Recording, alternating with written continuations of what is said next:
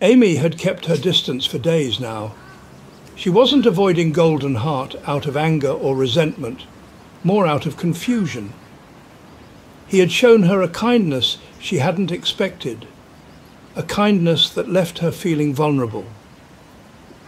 Every time she thought about their last encounter, about the pendant he had given her, her heart stirred with emotions she wasn't sure how to handle. She couldn't bring herself to fully engage, so she stayed back, observing from afar. Golden Heart hadn't pushed. He hadn't followed up or asked her any more questions.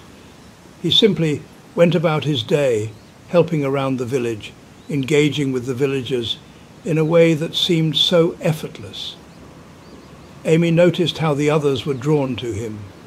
They spoke highly of him, about his warmth, his compassion, and his quiet strength. He fit in so well with the community, and yet there was something about him that still felt different. A part of her wondered where he had come from, what his real story was, but she hadn't asked. Not yet. From a distance, Amy found herself watching him more than she wanted to admit. She told herself it was just curiosity, nothing more. But deep down she knew it was something else entirely. That afternoon, as she sat under the shade of a tree on the outskirts of the village, she saw him again. He was helping an elderly villager carry a heavy load of firewood. The old woman smiled up at him, and Golden Heart laughed, that same soft, gentle laugh that had caught Amy's attention when they first met. Her chest tightened as she watched him. He looked so at ease, so genuine. It was as if nothing fazed him, as if his patience was infinite. And yet she couldn't shake the guilt she felt. She had been keeping him at arm's length, unsure of how to respond to his kindness, unsure of how to let someone like him into her life. Amy turned away, biting her lip. The pendant hung around her neck, hidden beneath her scarf, and every time she felt it against her skin, it reminded her of him, of his words, his compassion, and how she had struggled to accept it. She wasn't ready for this, not yet. But she also couldn't ignore the growing regret that tugged at her every time she thought about their interactions. She hadn't been fair to him. He had only ever tried to be kind, and she had put up walls, thinking that keeping her distance was safer. The truth was, she wasn't sure what was safer anymore. The sound of soft footsteps behind her pulled her out of her thoughts. She turned her head slightly, just enough to see one of the villagers approaching.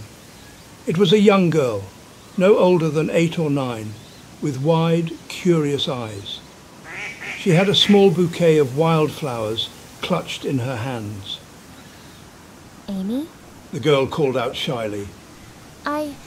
I wanted to give these to you. I heard you've been feeling down. Amy blinked, momentarily startled. She hadn't expected anyone to notice, let alone a child.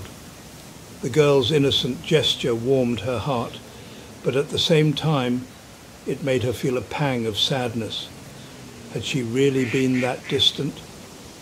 She smiled softly and reached out, taking the bouquet from the girl's hands. Thank you, she said quietly. That's really sweet of you.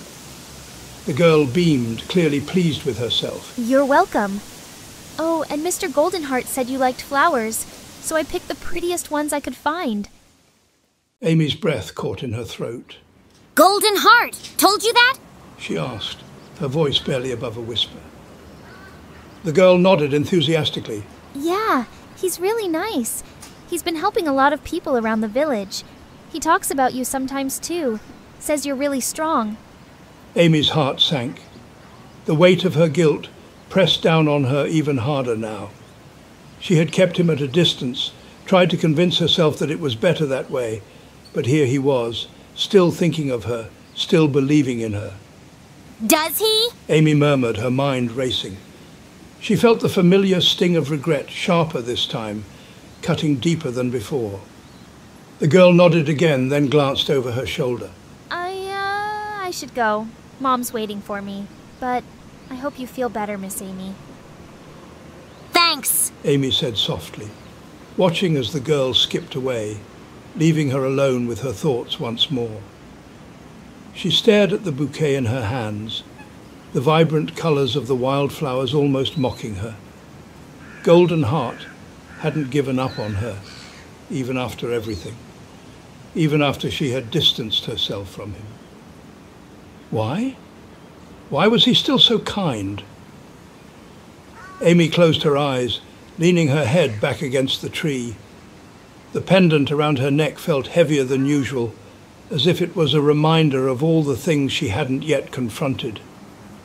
She wasn't ready to let him in, but she couldn't deny that his presence in the village, in her life, had begun to affect her in ways she hadn't expected.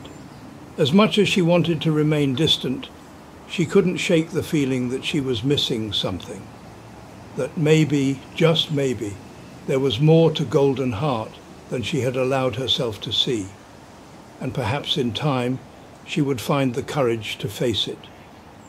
But for now she would remain a distant observer, watching him from afar, silently wrestling with the emotions she wasn't ready to confront. One day, she thought, one day I'll be ready, but not yet, not today. For now she would continue to watch, continue to try and understand why someone like him cared so much, why he was willing to wait. And maybe in time she would find the strength to let him in.